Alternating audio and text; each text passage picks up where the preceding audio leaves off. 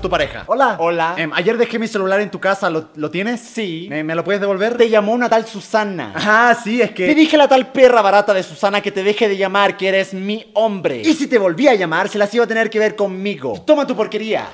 Pero Susana es mi mamá. Nunca pierdas tu celular de vista. Aparte, los celulares nos han hecho mucho daño. Por ejemplo, antes juntarse con los amigos era diferente. Era para conversar, pasarlo bien. Antes de los celulares era así. y ahora, mientras más inteligentes se ponen los celulares, más idiotas nos ponemos nosotros.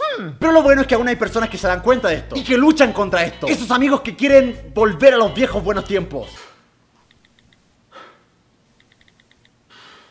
Me cansé de esto. Parecemos idiotas pegados a estas máquinas. Estas máquinas nos están controlando. ¿Qué pasó con los días donde solíamos comunicarnos, solíamos hablar, solíamos disfrutar de la naturaleza? Estas máquinas están consumiendo nuestra vida. Amigos, propongo que apaguemos nuestros celulares. Volvamos a compartir, volvamos a sentir el calor humano. No dejemos que estas malditas máquinas nos controlen. Se te acabó la batería, ¿cierto?